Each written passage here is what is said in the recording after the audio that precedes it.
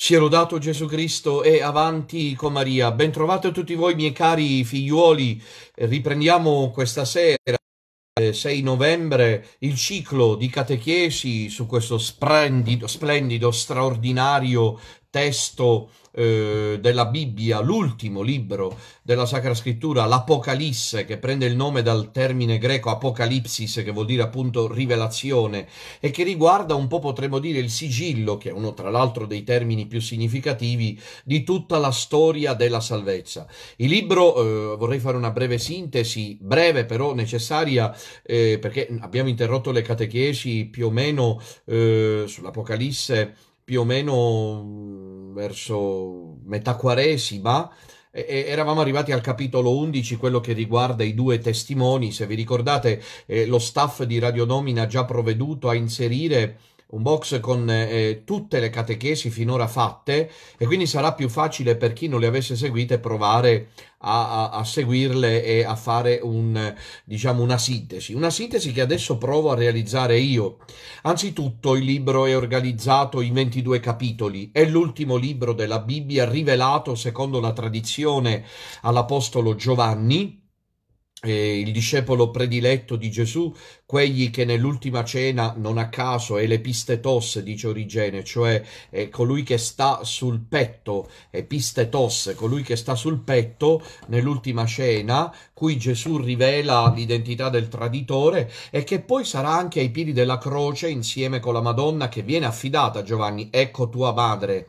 Quindi eh, l'Apostolo Giovanni è, è, è, autore del quarto Vangelo e secondo la tradizione proprio lui, Giovanni, è quelli che scrive eh, poi anche nell'anzianità ormai esule e forse anche prigioniero agli arresti domiciliari o comunque ai lavori forzati eh, nell'isola di Patmos con queste rivelazioni che la Chiesa ha ritenuto appunto canonicamente eh, rilevanti. E il libro è organizzato in 22 capitoli, ha un registro simbolico, è molto difficile appunto eh, darsi da fare eh, per eh, interpretare il testo sacro di Apocalisse. E forse proprio questo diciamo involucro eh, simbolico che l'Apocalisse possiede è quello che più di tutti affascina è quello che lo rende un evergreen come si dice no? Sempre verde. E l'errore pastorale teologico eh, spirituale che la Chiesa cattolica del post concilio ha compiuto è quello di avere accantonato questo testo lasciandolo purtroppo in balia eh, dei circoli millenaristi eh, pentecostali e così via dicendo. Ci siamo privati di un patrimonio vero e proprio, l'Apocalisse è veramente un patrimonio, eh, per quanto, ripeto, il testo sia eh, sviluppato attraverso una serie di visioni assolutamente mozzafiato incredibili, soprattutto la prima, se vi ricorderete ne abbiamo parlato, la Cristofania, la manifestazione del, del Kyrios, del Cristo risorto, però il testo appunto in quanto tale è veramente un capolavoro letterario Potremmo quasi dire che l'Apocalisse è una sorta di spartito musicale, eh, dove eh, le note sono sostituite eh, piuttosto da, eh, diciamo, eh, le note sostituite da, dal registro simbolico. Ecco, questo eh, è quello che, diciamo, secondo me merita di essere particolarmente considerato. Ecco, allora e noi abbiamo sviluppato un ciclo di catechesi dal primo capitolo all'undicesimo capitolo. Ci siamo fermati all'undicesimo capitolo, che è quello che parla dei due testimoni. Eh, abbiamo riflettuto su quello. Adesso vorrei farvi proprio un'estrema sintesi di come si è sviluppato finora il, il testo di Apocalisse. E questa sera, eh, addirittura, ci ritroviamo a dover riflettere. Questa sera, come anche un altro paio di serate eh, evidentemente eh, sul secondo me, ma non solo secondo me, evidentemente secondo diversi esegeti, tra cui Ugo Vanni, eh, ci ritroveremo a riflettere sul capitolo 12 di Apocalisse. I capitoli sono 22, ma non c'è dubbio che il capitolo dodicesimo è un capitolo assolutamente centrale, decisivo e nevralgico, dove c'è la donna vestita di sole. Allora, finora abbiamo visto abbiamo visto la Cristofania, cioè la manifestazione di Gesù Cristo. Vi invito a rileggere oppure a, a riascoltare soprattutto la catechesi, le, le, prime, le prime catechesi su Apocalisse, quando il Kyrios, il Kyrios è un termine greco che vuol dire il Signore risorto, si manifesta a Giovanni nell'isola di Patmos e con tutte le considerazioni, le caratteristiche, le riflessioni che abbiamo fatte di tipo letterario, teologico, storico, circa il libro di Apocalisse. Poi è seguito il settenario a, eh, alle sette chiese d'Asia, abbiamo riflettuto sulle parole che l'imperatore, vi ricordate, eh, con decreto imperiale, il Kyrios, il Gesù Cristo è l'imperatore, è lui che governa la chiesa, invia alle sette chiese d'Asia. Abbiamo visto quali sono queste sette chiese, che cosa il Kyrios, il Cristo risorto, dice a queste chiese, come le rimprovera, come le mette in guardia, qual è il registro anche di tipo escatologico escatologico che il Kyrios rivolge a queste sette chiese. Poi, dopo Giovanni ci ha trasportati eh, eh, dentro il mistero di Dio e qui, dopo essersi, eh, esserci concentrati eh, grazie allo straordinario eh, eh, prestigio letterario di Apocalisse, che sembra quasi un set cinematografico su Gesù Cristo, ecco che improvvisamente interviene un nuovo protagonista. Un nuovo protagonista nelle prime pagine di Apocalisse, se vi ricordate, dicevamo che il Kyrios, cioè il Cristo risorto, è colui che eh, abbaia, cioè l'inizio di Apocalisse, che è un libro che tante volte viene considerato come quello che parla eh, dello scontro di Satana, eh, dell'anticristo, delle cose brutte che devono accadere, in realtà i primi capitoli, se vi ricordate, l'abbiamo detto tante volte, sono pieni di questo abbaio, non so, ecco, eh, proprio tante volte qui da noi, non so se anche al nord succede, la gente scorda di togliere gli abbaianti. no, una volta c'era scritto in autostrada, ancora oggi è così, non accendere gli abbaianti Ecco, non accendere gli abbaianti in presenza di altre vetture opposte. Ecco, gli abbaianti. Eh, I primi capitoli di Apocalisse sono gli abbaianti, ti abbaiano. Kafka, che è un autore eh, ateo, eh, molti lo conoscono, della Repubblica Ceca, quando fu interrogato su che cosa pensasse di Gesù Cristo, disse, e così fece così, chiuse gli occhi e disse, non voglio aprire gli occhi di fronte a lui. Ecco, Gesù Cristo abbaia, è lui l'imperatore che invia le, le, le, le pergamene alle sette chiese d'Asia. E dunque anche, eh, dunque anche eh, figlioli cari, eh, interviene a un certo punto o Cathemenos en trono, cioè colui che sta seduto sul trono. Chi è che sta seduto sul trono? Dio Padre. Improvvisamente compare questa visione assolutamente straordinaria. Era importante che questa sera, eh, visto che riprendiamo, facessimo una sintesi per quanto sta prendendo un po' di tempo. Eccolo qui Subito fui preso dallo Spirito, capitolo 4, ed ecco c'era un trono nel cielo e sul trono uno stava seduto. Colui che stava seduto era simile nell'aspetto a Diaspro e Cornalina e la caratteristica fondamentale di Dio Padre è colui che sta o cathemenos in trono, colui che sta seduto, ecco perché è, governa, governa le vicende della storia umana, dentro alle trame apocalittiche dello scontro finale tra il bene e il male, sopra, sovrasta, potremmo dire, o Cathemenos en trono, colui che sta seduto sul trono.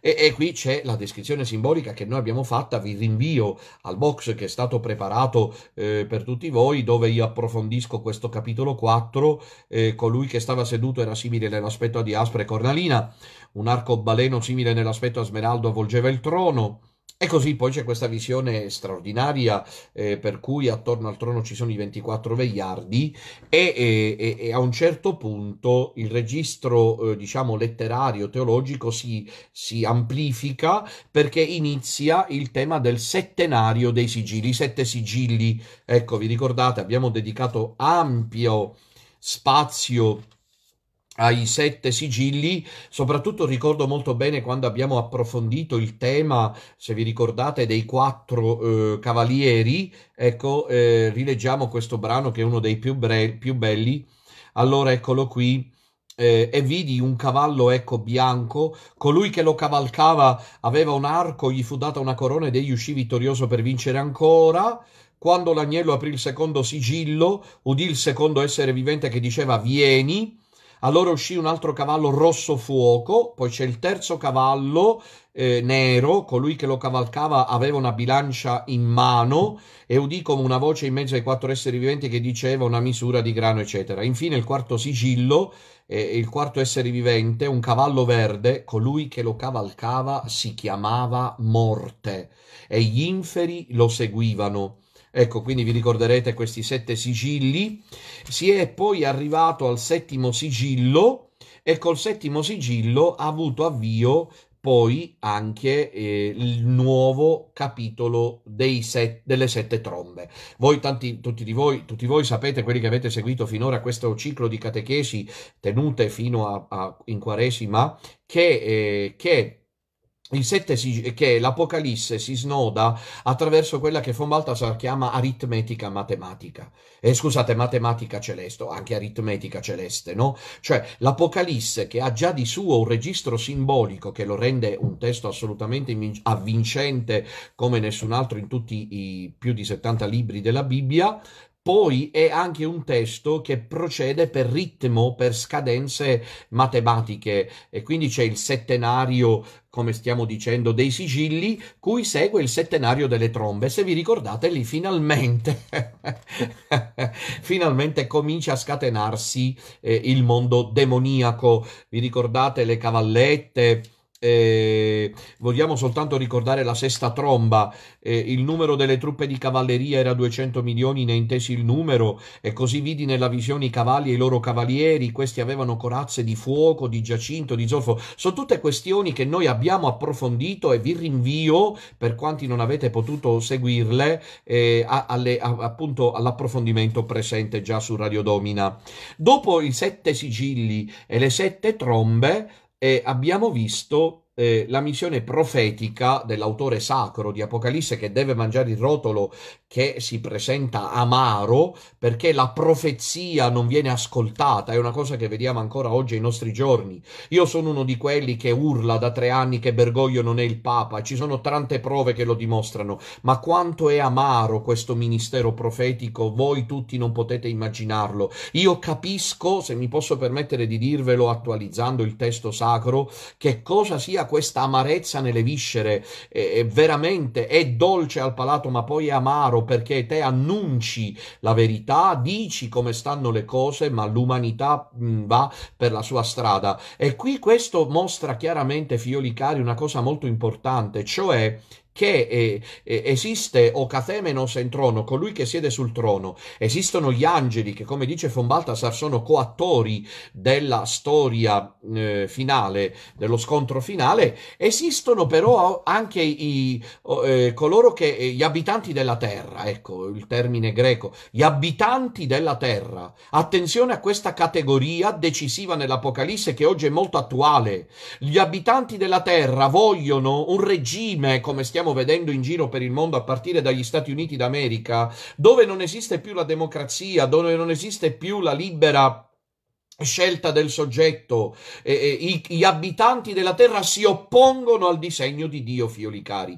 È quello che l'Apocalisse racconta molto bene. E infine ci eravamo fermati, ho fatto una sintesi, come potete immaginare, molto rapida, allo squillo della setta, settima tromba, preceduto dalla storia dei due testimoni. Abbiamo visto le interpretazioni varie su questi testimoni, evidentemente, e abbiamo anche capito eh, che, eh, come diceva Don Dolindo Ruotolo, che devono essere deve trattarsi di due eh, personaggi, uno religioso, dice Don Dolindo Ruotolo, e uno politico. Ecco, io mentre preparavo per voi queste catechesi questa sera mi chiedevo se non potessero i catecon, il catecon, che poi richiama i due testimoni, se non potessero eh, eh riferirsi questi due testimoni, secondo appunto questa visione di Don Dolindo Ruotolo, a Benedetto XVI, il catecon della Chiesa, e a Donald Trump, il catecon di fronte al Deep State. Non è da escludere, eh, perché eh, essendo un testo simbolico, può essere appunto applicato alla situazione attuale che stiamo vivendo. Una cosa posso dirla, vediamo come sono perseguitati. Io questa sera ho visto in tv come è trattato Donald Trump a Rai 1, cioè viene trattato come uno che eh, fa, eh, fa, casino perché non vuole eh, arrendersi all'evidenza della sconfitta, sta creando problemi, ma non approfondiscono le cose che lui ha dette circa le truffe, gli imbrogli che ci sono stati. Ecco, eh, e quindi non è da escludere questa cosa qui, cioè che l'uno e l'altro, Benedetto XVI e Donald Trump, possano veramente essere eh, diciamo così, quelli che eh, fronteggiano. Eh, d'altra parte, Apocalisse dice che i due testimoni muoiono. Eh, leggiamo, leggiamo, il testo e poi finalmente andiamo al nostro brano di questa sera. Però questo quarto d'ora, 20 minuti circa, erano, eh, era previsto perché si potesse in qualche modo appunto eh, approfondire la questione. Allora leggiamo e quando avranno compiuto la loro testimonianza, la bestia che sale dall'abisso farà guerra contro di loro. Si stiamo parlando dei due testimoni, al versetto settimo seguente, li vincerà e li ucciderà. I loro cadaveri rimarranno esposti sulla piazza della grande città che simbolicamente si chiama Sodoma ed Egitto, dove anche il loro Signore fu crocifisso. Uomini, eccolo qui, uomini di ogni popolo, tribù, lingua e nazione vedono i loro cadaveri per tre giorni e mezzo e non permettono che i loro cadaveri vengano deposti in un sepolcro sepolcro, gli abitanti della terra, eh, o eh, katoikuntes in greco, ecco mi sono ricordato il termine greco, perché poi se vi ricordate abbiamo proceduto anche con eh, una serie di ap- espressioni apodittiche molto belle eh, eh, l'Apocalisse è un testo odiato dalla falsa chiesa perché rivela la verità, capite? La falsa chiesa bergogliana, il deep state, i, i poteri forti mondiali odiano l'Apocalisse perché l'Apocalisse è uno svelamento di ciò che sta accadendo ai nostri giorni. Io non ho dubbi che noi siamo la, la generazione dell'Apocalisse, figlioli cari. Eh? Non ho alcun dubbio su quello. Siamo ormai nella stagione dell'Anticristo, siamo ormai nella stagione del dell'apostasia della fede e del regime del nuovo ordine mondiale. Dobbiamo essere più che mai disposti a esporci, come del resto ormai faccio io. Mentre sto parlando con voi, per esempio, si è attivato sul mio cellulare, per dirvi in una sola, non so come, una sorta di richiamo alle chat, quelle lì, eh, non so come si chiamino, eh, quelle un po' sporche. Io non ho toccato nulla e qui mi dice attenzione, attenzione, attenzione, mentre sto parlando con voi, per dirvi, ecco, bisogna stare molto in guardia, ma la, la realtà che noi viviamo è proprio questa, figlioli cari.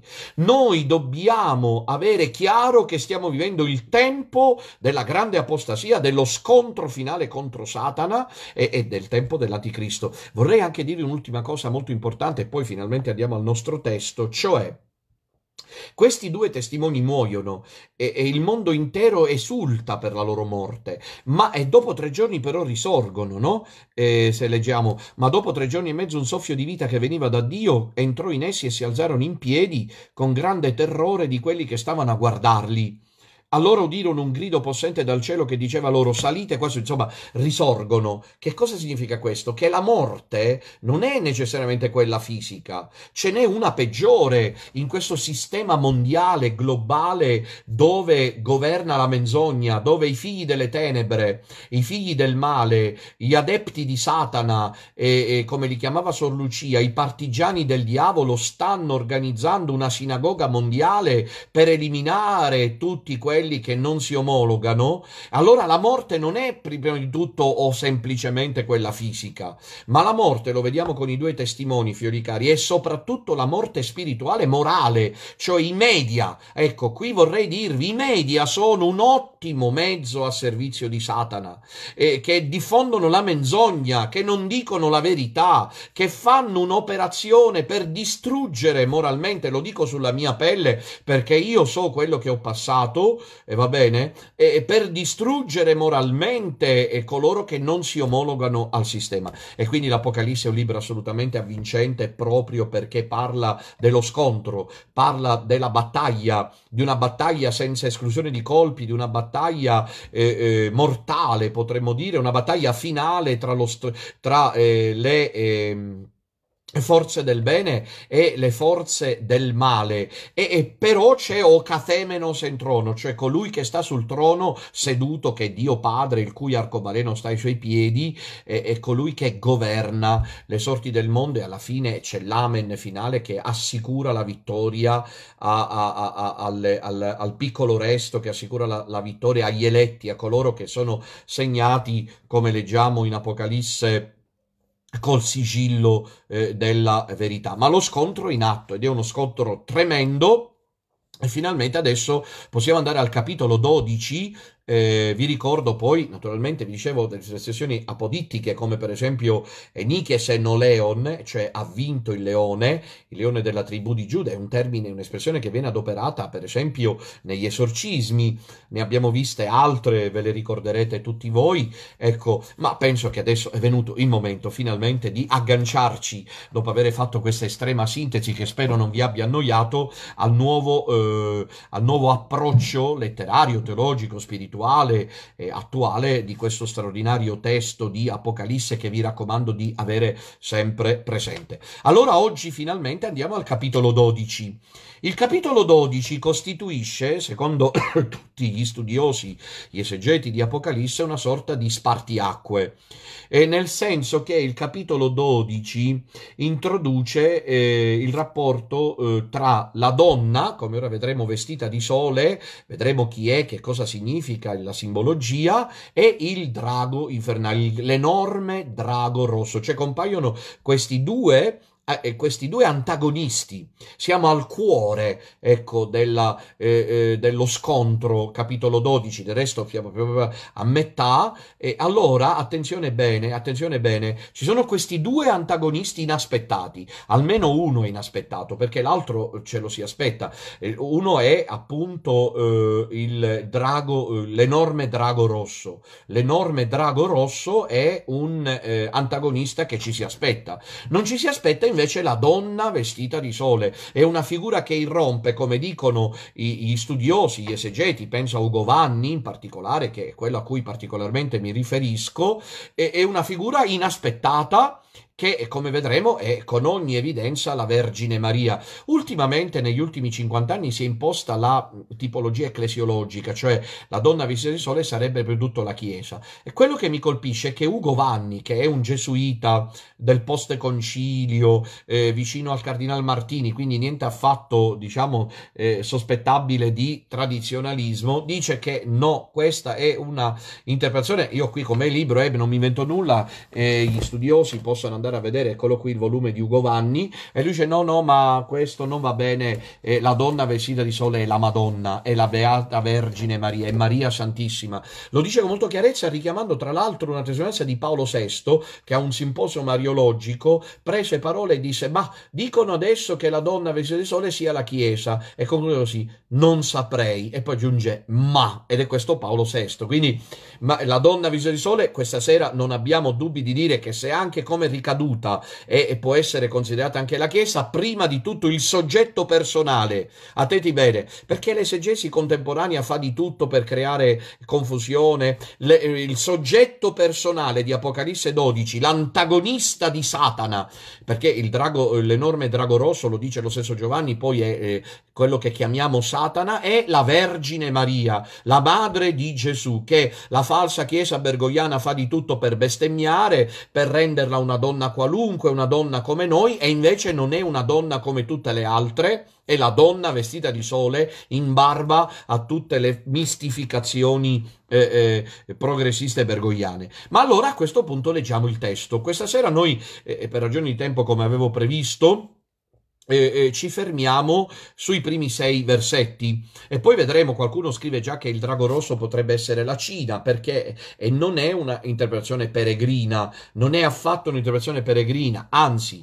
può avere un grande eh, diciamo un, può avere un, un effetti una forte eh, ricaduta questa interpretazione ma lo vediamo. Intanto leggiamo adesso finalmente il testo capitolo 12 versetti 1 6 Il testo è, anche da un punto di vista eh, letterario è assolutamente straordinario e credo, presumo sia uno dei testi più noti, eh, fa parte anche, è entrato nel Rosario, il quinto mistero glorioso, la donna vestita di sole, appunto, ma leggiamo il testo.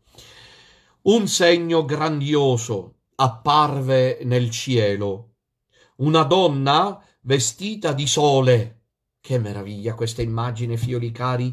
Dobbiamo chiedere allo Spirito Santo di farla filtrare dentro di noi. Non so voi, io vivo di questa, perché vedo che sembra che la Chiesa proceda sempre per, per nuove sconfitte. Non so voi, a, a me brucia vedere eh, eh, Trump trattato in questo modo. Lo stanno sbrandellando. La Chiesa Cattolica, Roma occupata da Bergoglio, Benedetto XVI messo da parte, un governo in Italia non eletto dal popolo, eh, la dittatura sanitaria, sono tutte cose. E allora però tu vedi questa donna vestita di sole. Capite che è uno spiraglio che si apre, figlioli cari. È una, una, luce ricca di speranza per tutti noi che saremo costretti a soffrire se non vogliamo, analo- a, a, a, eh, se non vogliamo eh, eh, omologarci alla dittatura unica, che a questo punto non è più quella nazista in Germania di Hitler o quella sovietica comunista di Stalin in Russia, o quella di non so dove in Africa, questa volta sarà una dittatura perché è quella ultima dell'anticristo mondiale, mondiale figlioli cari. E tutti quelli che non vorranno omologarsi, e io sono tra questi, naturalmente, ci mancherebbe altro, possono solo guardare a lei, alla donna vestita di sole. Ma leggiamo il testo. Un segno grandioso apparve nel cielo, una donna vestita di sole e qui c'è tutta una caratterizzazione importante, con la luna sotto i suoi piedi e sul capo una corona di dodici stelle. Questa è un'espressione naturalmente anche entrata, come sapete molto bene, nell'iconografia, nella tradizione cattolica. Ecco, von ha scritto questo libro qui, Apocalisse, e, e c'è proprio l'immagine eh, molto bella della donna eh, vestita di sole, eh, con la luna appunto, come si dice, sotto i suoi piedi e sul suo capo una corona di 12 stelle. Sono caratterizzazioni iconografiche che fra un momento spiegheremo. Ecco, eh, era incinta Ecco, questo è un altro improvviso colpo di scena. Mi ricordo molto bene che nelle prime catechesi andavamo in estasi perché la, la, cristofania, vi ricordate la concentrazione su Gesù Cristo, avevo parlato anche della sauna, cioè entri nella sauna e poi esci che sei tutto gocciolante. Ecco, entri in questa sauna dell'Apocalisse e, e ti riempi di Cristo, la tua pelle trasuda Gesù Cristo, ma certo anche il capitolo 12 è una marianofania assolutamente meravigliosa, ecco, e, e, e ricca di colpi di scena. Versetto 2, era incinta e gridava per le doglie e il travaglio del parto. Allora, e qui questo quindi è, è, Giovanni che ti prende, come sempre succede, fa un primo piano sul, sul, sul primo soggetto e poi ti presenta l'antagonista. Allora apparve un altro segno nel cielo, un enorme drago rosso. Eccoli qui i due antagonisti. Eccolo qui Apocalisse 12, paradigma del momento che stiamo vivendo. Sopra le nostre teste, tra Trump e Biden, eh, eh, non so io, tra la dittatura sanitaria imposta a tutti i costi e i sospetti che nascono, eh, tra Bergoglio, usurpatore del, treno, del trono di Pietro, e Benedetto XVI che resta il vero Papa, sopra le nostre teste c'è il vero scontro. I due antagonisti sono la donna vestita di sole che ha i travagli del parto e adesso invece il suo grande nemico. Allora apparve un altro segno nel cielo, un enorme drago rosso con sette teste e dieci corna e sulle teste sette diademi.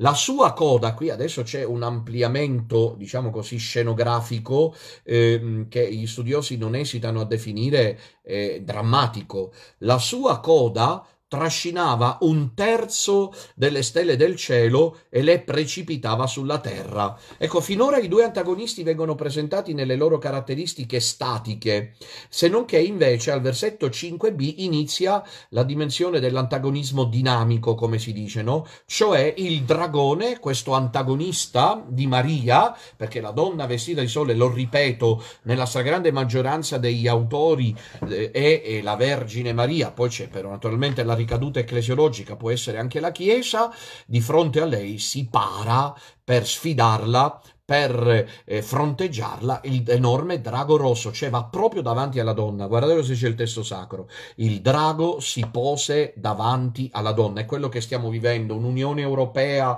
eh, senza radici cristiane, massonica, un'Unione Europea che me lo ricordo io qualche anno fa ha mosso eh, dei eh, procedimenti penali nei confronti di, addirittura di Joseph Ratzinger, Benedetto XVI, a proposito del problema dell'AIDS e così via dicendo. Un mondo dove si approvano le leggi contro Dio, l'aborto, il divorzio, le unioni gay, una umanità immersa nel caos come la torre di Babele. Questo è Satana, è Satana l'enorme drago rosso che sfida Maria, capito? Sono i due grandi antagonisti. Il drago si pose davanti alla donna che stava per partorire in modo da divorare il bambino appena lo avesse partorito. E fine i versetti 5 e 6. Essa partorì un figlio maschio destinato a governare tutte le nazioni con scettro di ferro e suo figlio fu rapito verso Dio e verso il suo trono. Se notate, tra i due antagonisti, ancora una volta un enorme, nuovo, improvviso, inaspettato colpo di scena, perché eh, eh, il veggente di Patmos, Giovanni, tra i due antagonisti pone l'attenzione, concentra l'attenzione sul bambino che nasce, che è destinato a governare il mondo intero e che però viene rapito verso Dio e verso il suo trono. E quindi restano ancora una volta a fronteggiarsi la donna vestita di sole e il dragone rosso. E il versetto 6 dice, la donna invece fuggì nel deserto dove Dio le aveva preparato un rifugio perché vi fosse nutrita. Si conclude qui il nostro testo, i primi sei versetti di questo assoluto straordinario, assolutamente straordinario capitolo di Apocalisse, il capitolo 12, che praticamente, non so voi, io lo so a memoria, eh, perché è talmente bello che non si può ignorarlo, ma l'ultimo passaggio è quello cronologico che svela in realtà, diciamo, il Sitzilleben, come direbbero i tedeschi, cioè il contesto vitale che è quello dell'anticristo, perché dice che la donna di cui non si dà il nome naturalmente, la donna vestita di sole, fugge nel deserto dove Dio le aveva preparato un rifugio perché vi fosse nutrita, attenti qui, per 1260 giorni. E qui, naturalmente, come ora vedremo, si è scatenata assolutamente la, eh, eh, diciamo, eh, l'euforia esegetica per cercare di capire che cosa significasse questo, questo, eh, questo tempo in cui la donna fugge nel deserto, nel, nel rifugio che Dio le prepara per 1260 giorni. Attenzione, 1260 giorni sono la metà di sette anni, sono tre anni e mezzo.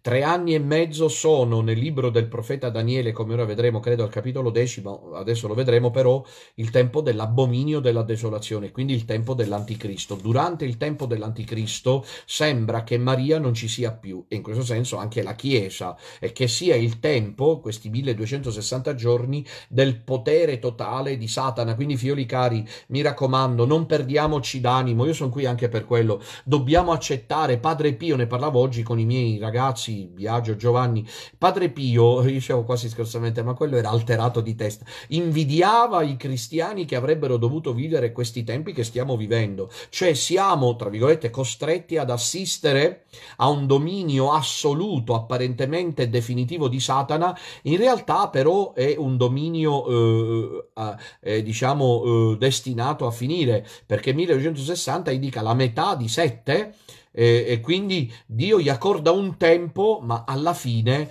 vince, eh, appunto, come vedremo, la donna vestita di sole. Bene, adesso andiamo più nello specifico nel testo. Cominciamo con questo primo segno, nel, un segno grandioso apparve nel cielo. Il termine greco è molto bello, se, eh, semeion mega, è semplice semplice, però è veramente bello. Semeion mega, segno grande, segno grande. Eh, e qual è questo segno grande? Lo abbiamo visto, una donna vestita di sole. Ecco.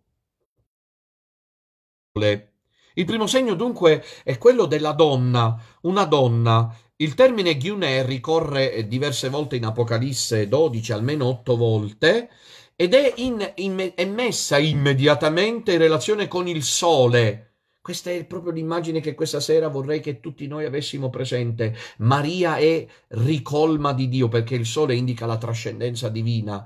Maria è colei che porta il sole. Qui bisognerebbe leggere quello che scrive San Bernardo quando dice vuoi capire cosa significa che Maria è, che la donna è vestita di sole? Togliti i calzari come ha fatto Mosè e adora i misteri di Dio. Bellissima come immagine, per dire che Maria è veramente straordinariamente ricolma di Dio. Ecco, e, e notate, interviene e questo è, ci riguarda tutti, nella stagione dell'Anticristo.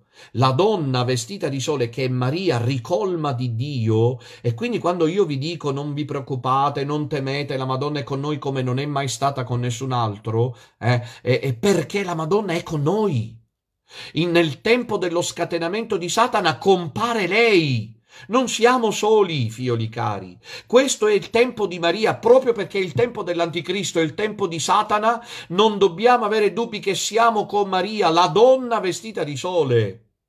Vi sto dicendo che Padre Pio eh, eh invidiava i cristiani che avrebbero dovuto vivere questi 1260 giorni.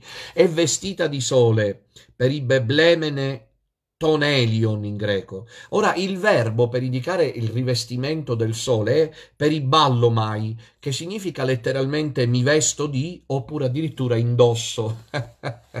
Quindi non è certo una sfilata di moda, però la Madonna si è scelto il vestito più bello per comparire in Apocalisse 12, miei cari figlioli, eh, eh, la donna vestita di sole, contro ogni riduzionismo che non a caso è portato avanti dalla falsa chiesa bergogliana, dal progressismo cattolico che è quello che eh, eh si entusiasma ed esulta perché vince Biden in America, perché in, nell'Unione Europea abbiamo una eh, realtà europea che nega nega le radici di Cristo. Ecco, di fronte a tutto questo compare lei, Maria.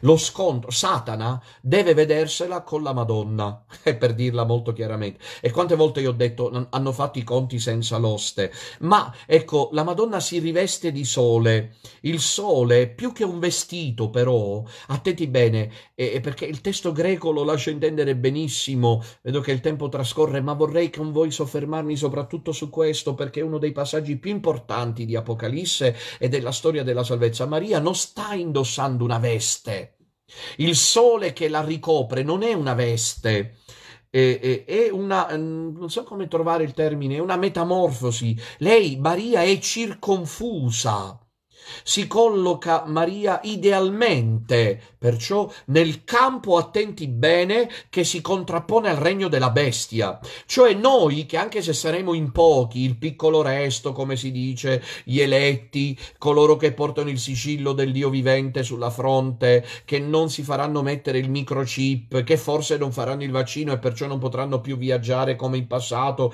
verranno meno prerogative. Non è che siamo abbandonati a noi stessi e siamo clandestini senza senza, eh, senza identità. Cioè c'è un regno antidivino. Questo è un passaggio molto forte che io ho imparato da von Balthasar e che vorrei che vi desse conforto questa sera perché il momento che stiamo vivendo è quello che è sotto gli occhi di tutti. Non è che noi siamo lasciati da Dio, da Dio in balia di noi stessi. C'è un regno antidivino che appare molto forte, che appare sempre più determinato a costruire come non è mai accaduto una dittatura mondiale, ma attenzione che c'è la donna vestita di sole, il fatto fatto che sia vestita di sole indica che c'è un regno parimenti che si contrappone al regno dell'anticristo, che si contrappone al regno della bestia. Esiste il regno del sole, esiste il regno della luce. Esiste il regno di Maria. Se avessi tempo io qui vorrei poter approfondire quello che Monforte dice, provato con me il testo a riguardo dello scontro tra Satana e Maria negli ultimi tempi, quando si dice proprio eh, che ella, la Madonna, eh, sarà pronta a combattere contro Satana e sceglierà i suoi eletti appunto per combattere contro il diavolo. Eh, vi leggo proprio questo. Il potere di Maria, scrive il Monfort, su tutti i demoni risplenderà, e su tutti i demoni non solo quelli spirituali, ma i poteri anticristici che in questo momento stanno pressando per raggiungere l'obiettivo, squalificando gli avversari, di fare un New, order, new World Order, risplenderà in modo particolare negli ultimi tempi, che secondo me sono quelli che stiamo vivendo, quando Satana insidierà il suo calcagno, cioè i suoi poveri schiavi schiavi e umili figli che lei susciterà per muovergli guerra. Questi saranno piccoli e poveri secondo il mondo, infimi davanti a tutti come il calcagno, calpestati e maltrattati come il calcagno lo è in confronto alle altre membra del corpo. In cambio saranno ricchi di grazia divina, che Maria comunicherà loro in abbondanza, grandi ed elevati in santità, eh, davanti a Dio superiori, eccetera, eccetera. Qui veramente il Monforte ha visto quello che Apocalisse 12 lascia intendere. Quindi questa donna è, è contrapposta in maniera antagonistica al, al, alla, come vedremo, all'enorme drago rosso, è rivestita del sole, un alone luminoso che porta calore, che porta vita, la ricopre. Questa donna poi, dice il testo, ha la luna sotto i suoi piedi. Che significa questa luna sotto i piedi? Allora, anche qui sono state date tantissime spiegazioni.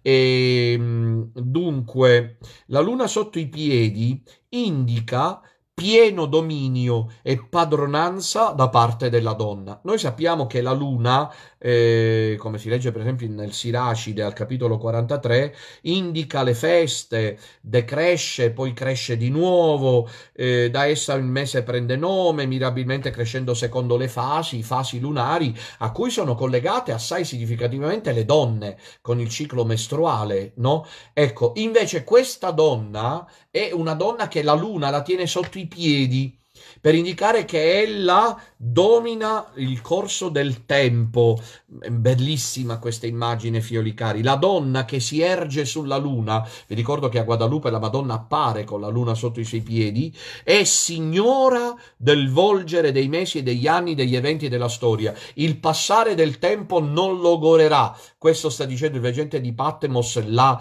supremazia eh, di questa donna. Questa donna rimane vincitro- vincitrice, domina nonostante il passare del tempo. Però c'è un'altra interpretazione molto bella che non posso, eh, diciamo, trascurare della donna eh, con la luna sotto i suoi piedi, perché secondo le concezioni cosmologiche mh, antiche, la luna, la luna segnava un confine un confine tra le sfere inferiori del cielo e le sfere superiori.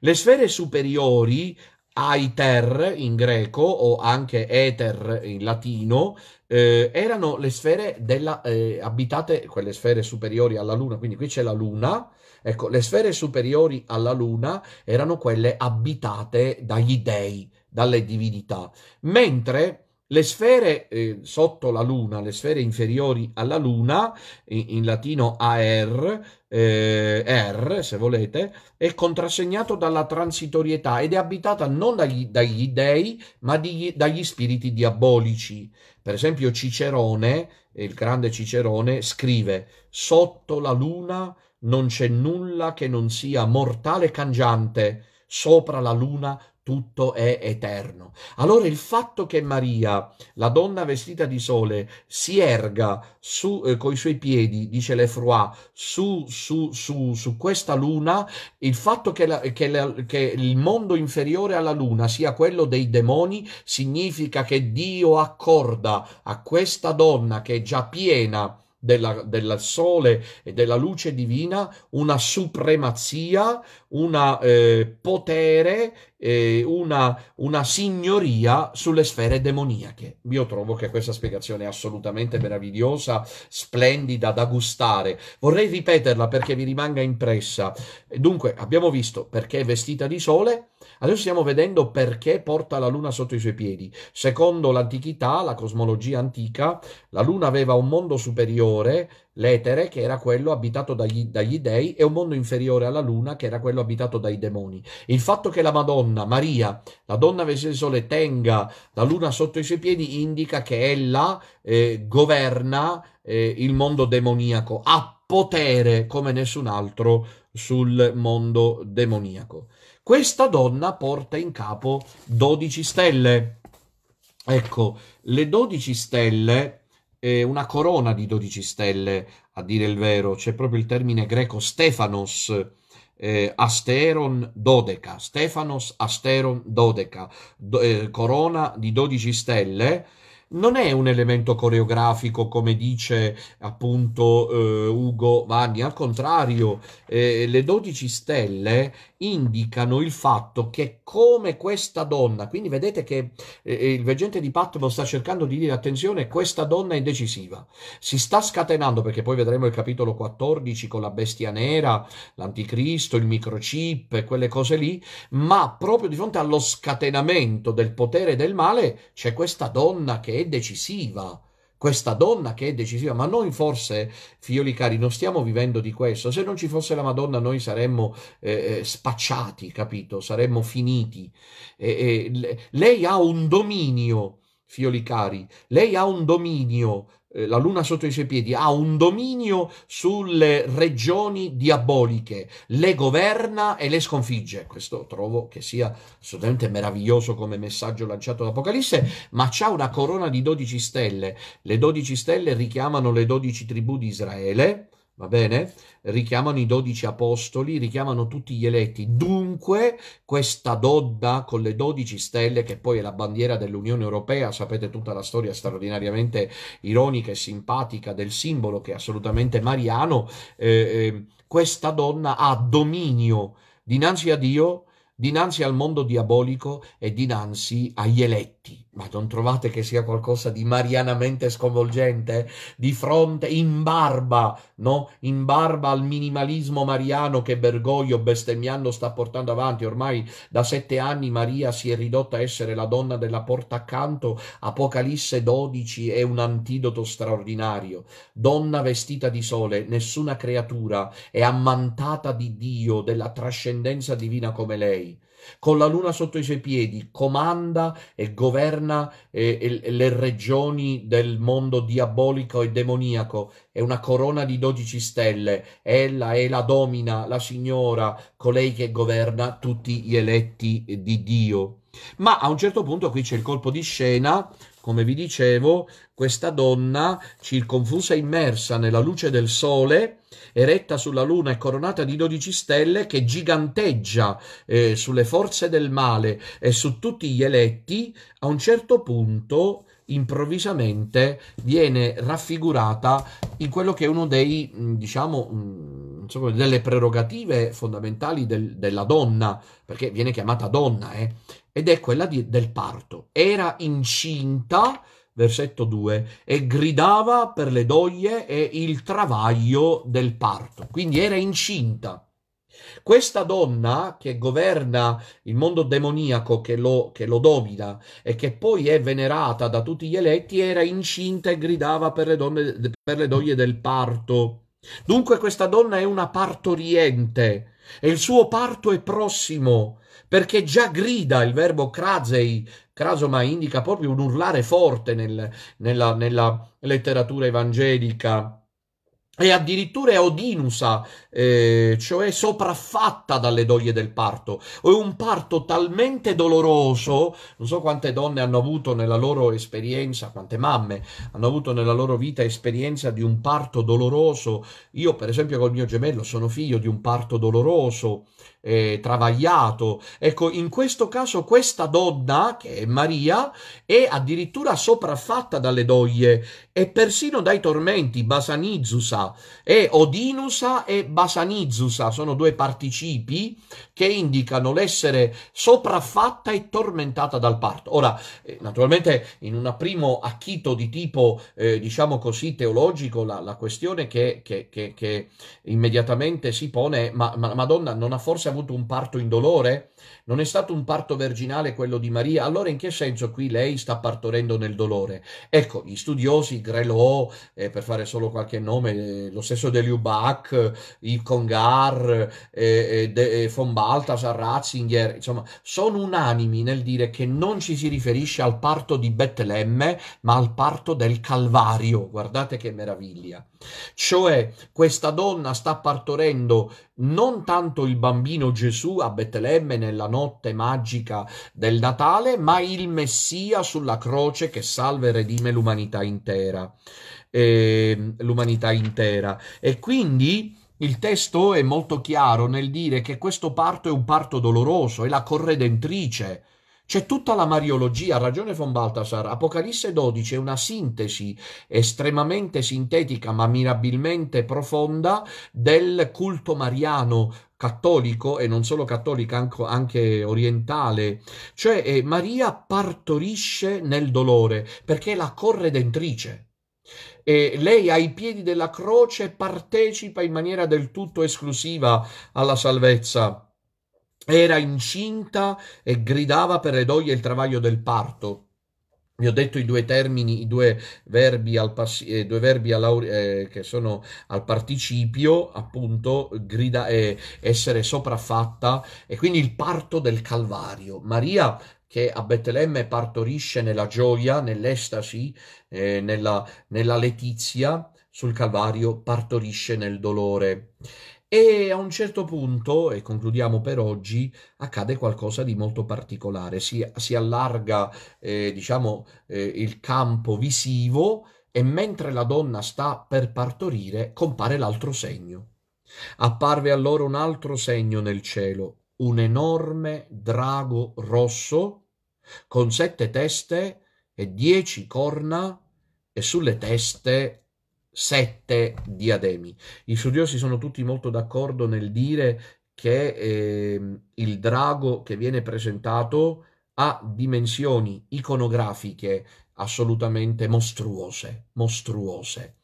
Dopo una visione inizialmente luminosa, si passa poi al dramma del parto per poi approdare, in questo linguaggio tipico di Apocalisse, il registro dello scontro, del, della battaglia, eh, alla, alla, al dragone, l'antagonista.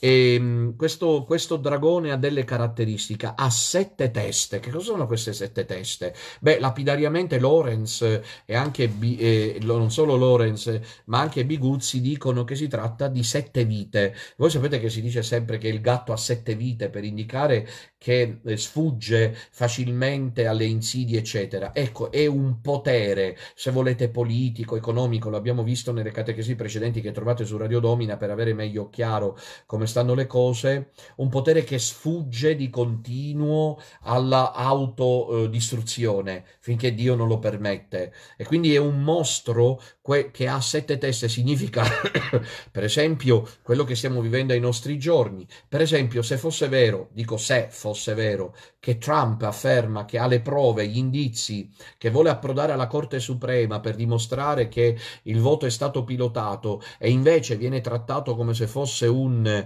eh, millantatore, ecco, voi capite cosa sono le sette teste. Eh, il drago ha anche dieci corna e sette diademi. Le dieci corna sono quelle che richiamano Daniele 7,7 eh, e indicano potenza indicano potenza eh, eh, permessa da Dio. Invece i diademi sono un ornamento regale, come sapete. Il drago dunque unisce alla vitalità delle sue teste, per cui ha, ha una vitalità immensa, eh, la potenza politica perché ha i diademi, sette diademi, sette è un numero perfetto, indica il nuovo ordine mondiale, cioè il mondo intero, eh, le masse globali, il pianeta si prostrerà dinanzi alla, eh, eh, dinanzi alla bestia. E questa bestia, però adesso per oggi devo concludere, come vedremo la prossima volta, ho preso un po' di tempo in più con la, con la introduzione perché dovevamo riagganciarci, questa, te, questa bestia non si limita a mostrare il suo potere, ma fronteggia la donna, è insolente, è, è caparbio, è superbo. Siamo veramente in presenza di uno scontro eh, eh, proprio frontale tra la donna vestita di sole che domina sul potere demoniaco, ma c'è questa bestia rossa, questo drago rosso con dieci corna, sette teste e sette diademi, quindi un'immagine assolutamente eh, mostruosa che fronteggia la donna e addirittura le si, gli si pone dinanzi eh, lo vedremo la prossima volta. Il drago si pose davanti alla donna che stava per partorire. Il tentativo è proprio quello di distruggere l'opera eh, di Dio, come vedremo la prossima volta. Ci riuscirà? No, naturalmente no. La donna sarà condotta nel deserto. Ci devono essere questi 1260 giorni che già nel libro del profeta Daniele indicano, sono tre anni e mezzo, indicano il tempo dell'anticristo. No, nel, nel Daniele indicano il tempo della eh, desolazione, eh, ma che eh, eh, invece in Apocalisse indicano il tempo del dominio della bestia che metterà il marchio eh, e quello è un tempo nel quale sembrerà che la Chiesa non esista più, la donna sembrerebbe poi a un certo punto non esserci più, dobbiamo prepararci a questo tempo di deserto, figlioli cari, sapendo però sono metà di sette per indicare che il tempo in cui il diavolo si scatena è un tempo dimezzato che prima o poi avrà termine. Bene, miei cari, per oggi può bastare così, spero di non avervi appesantito, forse sì, me ne scuso con voi se è così. Adesso è possibile intervenire telefonicamente se trovo il cellulare in mezzo a tutti i miei immensi, eh, eh, eccolo qui, il cellulare è possibile intervenire? Spererei sulla catechesi al numero telefonico in sovrimpressione, ve lo ricordo, 349 410 1638. Potete intervenire su questo, su altre tematiche affini. Ecco la prima telefonata. Pronto? Pronto, don Alessandro? Sì? Sia lodato Gesù Cristo. Sempre sia lodato. Susana da Buenos Aires. Oh, che meraviglia, Susana, che meraviglia. Susana Menendez, come stai? benissimo, benissimo. Che Volevo bello. raccontarvi che eh, Carmen sta lavorando, Ah, ha avuto un bene. problema con la sua figlia che è stata ammalata, dunque le, le cose si sono un po' ritardate. Ma non c'è fretta, non c'è fretta, Susana, può lavorare con molta tranquillità. Del resto dovrà arrivare il tempo in cui io vorrei poi venire lì a presenziare, a pubblicizzare il libro tradotto in spagnolo, certo. Magari, magari, Ecco. sì, sì, sì, sì, Dio lo, lo vorrà sicuramente. Ehm, un'altra cosa, questa mattina eh, lei ha parlato di Bergoglio, la Pachamama, e io mi ricordo, voglio raccontare un, piccolo, un piccolo aneddoto, eh, che l'anno scorso, quando questo è successo, Hola? Sì, sì, sì, ascolto Susana. Ah. E sono entrata in una chiesa e c'era un prete che era seduto aspettando che la- le persone le, fa- eh, le facessero delle domande. Allora Sì. io gli ho detto, padre, che cosa pensa di questo che ha fatto Bergoglio? Questa eresia di portare così, pia- piazzare la Pachamama in Vaticano. Allora mi ha guardato e mi ha detto, ma non è niente, Eh, sono sì. cose senza importanza. Ma Eh. detto così, sono figurine. Io so- mi sono andata scandalizzata. Certo, perché veramente certo. che un prete mi possa rispondere una cosa del genere, sono restata veramente sconvolta. Certo, Ma certo. volevo raccontarlo perché questo esiste. Esiste la gente che pensa che sono figurine. Ma come che dei cartoni roba. animati, cose del genere. Che vergogna, Ecco. che vergogna. Eh sì. Vera- veramente. Beh, io la saluto. Grazie Susana, è sempre una grande gioia sentirti telefonicamente. Salutami Carmen, dille perché lo vorrei spiegare qui ai nostri ascoltatori, oggi siamo 1200, pensa. Vorrei dire che stiamo parlando della traduzione in spagnolo del libro Pietro dove sei, che eh, Susanna e, e, Carmen si stanno curando di, di, fare, ma non c'è fretta, va bene Susanna, quindi dia a Carmen che proceda senza nessun problema, con calma, ecco. Bene, tanta benedizione Susanna, eh, a Buenos Aires. Grazie. Grazie, a presto. A presto, uniti in preghiera. Ciao Susanna, avanti con Maria. Ciao, ciao. Ciao, ciao, ciao. Che bello quando chiamano da Buenos Aires il mio cuore, come forse si vede, arrivo a commuovermi perché io ho avuto un'esperienza straordinaria lì a Buenos Aires, la patria di Bergoglio. Pronto? Pronto, Don Minutella? Sia lodato Gesù Cristo. Sia lodato, sempre sia lodato. Don Minutella, noi ci siamo visti quest'estate alla piccola Nazareth. Sì. Eh, io sono Giussi. E le volevo chiedere una cosa. Quando dice io sono venuto Gesù a mettere eh, spada, non pace, sì. cosa intende? Sì, sì, sì. Eh, rispondo per telefono, va bene?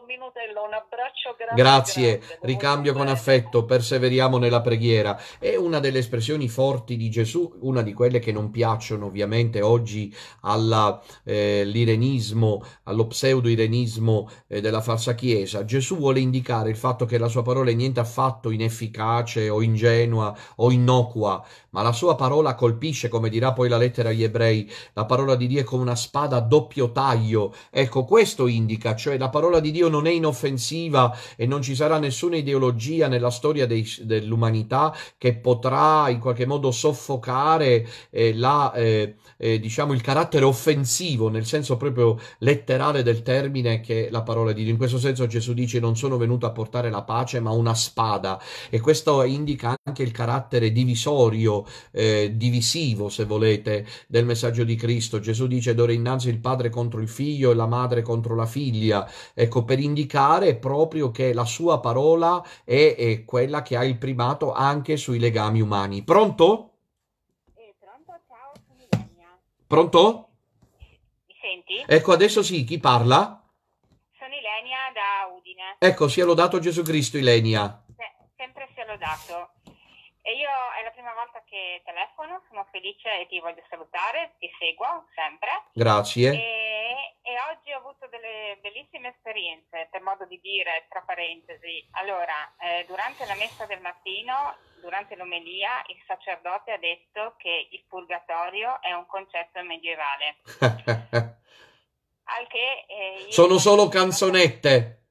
Sì, sì, ma non è finita qua, forse è finita qua, staremo bene. E io quando ho fatto la comunione gli ho detto, il corpo di Cristo, amen, e il purgatorio esiste. Ah, ecco. Eh, sì, no, perché io devo sopportare vado per testimoniare, perché non si può andare, se no uno è meglio che non ci va. E, mm, poi ho, ho incontrato un altro sacerdote a cui ho riferito questo e lui mi ha detto, eh, ma non è un dogma. Mm. Cioè, Co- Concilio di Lione 1274. sì. Dopo, mh, alla sera, ho telefonato al monastero di Castelmonte. Sì, sì, e sì. Perché non soddisfatta ho detto, ma È quello forse dove andava a passare le ferie, eh, se non ricordo male, Vittorio Messori, è quello? eh, penso di sì. Eh, credo che Allora, sia io quello. lì ho telefonato e gli ho detto, ma guardi che io stamattina mi sono sentita dire questa cosa, che il purgatorio non esiste, sì, che è un concetto che, che poi il fuoco, per l'amor di Dio. E questo qui fa, sì sì, ma il concetto adesso è molto cambiato, il purgatorio è una proprio, si sta lì un secondo, faccio un secondo, Come sono divertenti questi preti, poveracci. Ne- Nel Vangelo c'è scritto che non uscirete di lì fino a che non avrete pagato fino all'ultimo centesimo. Eh sì, eh, però sì, eh, allora, eh, ma che è cambiato un po' il concetto. In che senso è cambiato un po' il concetto? Eh, ma non c'era il fuoco. Io ho detto, beh, no, il fuoco del caminetto non c'era, ma c'era il fuoco spirituale, no? Certo, certo. E, fa, e quindi, in che senso è cambiato? No, ma forse sì, non è cambiato.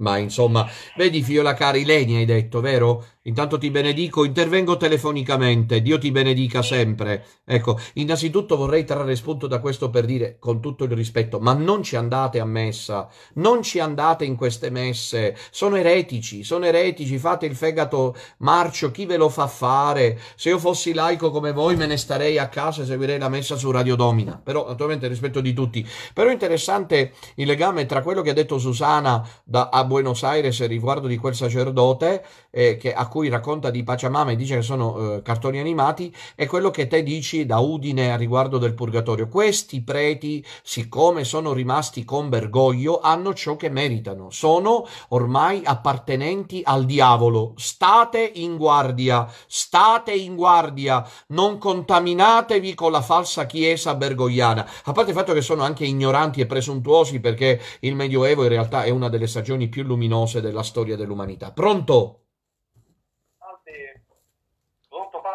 Sia lodato Gesù Cristo? Sempre sia lodato. Sono Claudio da, da Roma, ci siamo visti anche all'incontro. Sì, sì. Dimmi pure Claudio. Ah, allora, io ho una questione, una domanda. Sì. Che non se ne parla da tanto verso il lino. Allora, i padri della Chiesa dicono che il lino è comunque una condizione che esiste, che, eh, che... poi eh, Ratzinger mi pare che eh, ha cambiato la, insomma, si è un po' ribaltata. Insomma, è un concetto che non... Sì, sì, ho capito. Intervengo telefonicamente, va bene? Dio ti benedica Claudio, coraggio, avanti con Maria. Allora, bisogna dire la verità su questo, eh? Bisogna dire la verità. E purtroppo il catechismo della Chiesa Cattolica del 92 ha fatto un paio di concessioni alla teologia eh, modernista.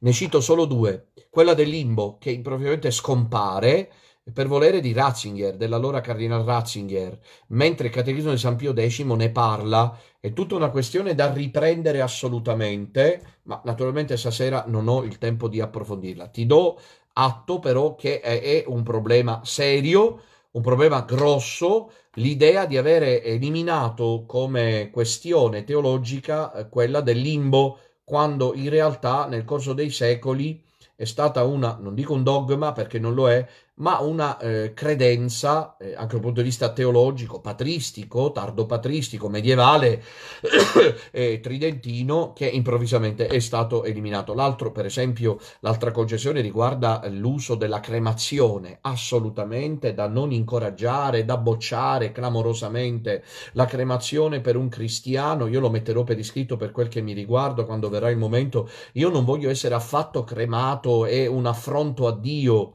perché mh, il corpo risorgerà dalla terra e se deve consumarsi e diventare polvere è Dio che lo stabilisce. Vediamo che invece i corpi di molti santi rimangono intatti e non solo di grandi santi. Quante persone ho sentite che quando si tratta di fare l'espurgo o lo spurgo come si chiama in termini un po' più eh, dei morti anche da tanti anni e poi aprono le bare e ritrovano eh, trovano eh, i corpi in, in, incorrotti, ecco, magari poi si viene a scoprire che sono persone che hanno vissuto santamente durante la vita, ecco, quindi anche questo della cremazione, cioè di far passare dal, fuo- dal, dal forno il corpo di un, eh, il cadavere eh, di un de- il defunto perché diventi eh, cenere e poi venga messo il cofanetto, questa è una concessione a mio avviso, io non sono un tradizionalista nel senso tecnico del termine, però la questione del limbo, come anche quella del, eh, della cremazione, sono purtroppo a mio avviso, lo dico con enorme rispetto, però anche con franchezza, delle concessioni che il catechismo ultimo ha fatto alla teologia modernista, mentre su questo il catechismo di San Pio X resta assolutamente insuperabile. Vedo che arrivano altre telefonate, però per questa sera può bastare così, del resto è da stamattina che stiamo insieme, adesso una pausa è più che dovuta. Vi ringrazio, miei cari figliuoli, guardiamo a Maria, la donna vestita di sole. Eh, circonfusa di luce, lei porta il regno di Dio contro l'antiregno diabolico ed è lei, Maria, che ci salverà e ci otterrà la vittoria. Benedicate vos, omnipotens Deus, Pater et Filius et Spiritus Sanctus. Amen. sia lodato Gesù Cristo e avanti con Maria, santa notte a tutti voi.